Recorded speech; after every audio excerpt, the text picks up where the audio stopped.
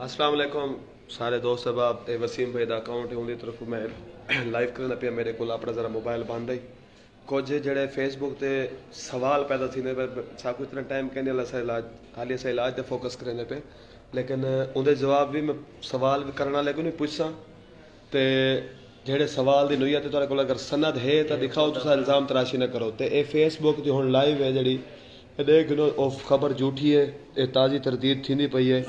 बिस्तर हॉस्पिटल है। तो ये हरकत ही करें पिया बीमार भी है आदमी झूठी ख़बर है तो अल्लाह ताला को सलामत रखे। बाक़ी जड़े लोग सवाल करें पेन या जड़े इल्ज़ाम तराशा थी पेन उन को अगर कोई सबूत है ना, सबूत रिटर्न फॉर्म वालों बकवास करें ठीक है, अल्लाह हाफ़िज़।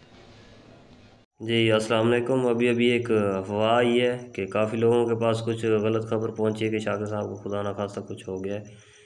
ऐसा कुछ भी नहीं है और मेरी हुकूमत से यही अपील है कि ऐसे लोगों को गिरफ़्तार किया जाए जो ऐसी अफवाहें फैला रहे हैं और तकरीबन कोई हमें कॉल्स आई हैं और आपस में कोई बहुत ज़्यादा कॉल्स आ रही हैं कि खुदा न खास्ता ऐसा वैसा कुछ हो गया है तो ऐसा कुछ भी नहीं है। आप वाल साहब की सेहत के लिए दुआ करें।